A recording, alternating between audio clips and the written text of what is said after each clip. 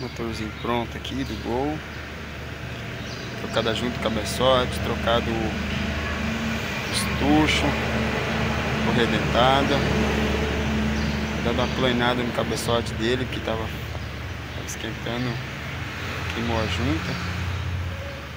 Deu um passe daí nele para dar um, uma planada boa, né? 100% o motor. Esse aqui é o motor Power do Gol G4.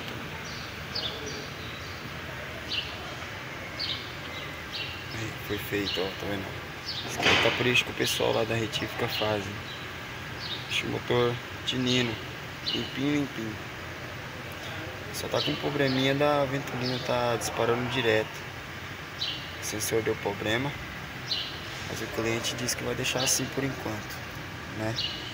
deixar meio direto mesmo a, a ventolina. O restante está tudo ok. Carrinho completo, ar-condicionado, hidráulico. Isso aí galera. Um abraço aí, viu?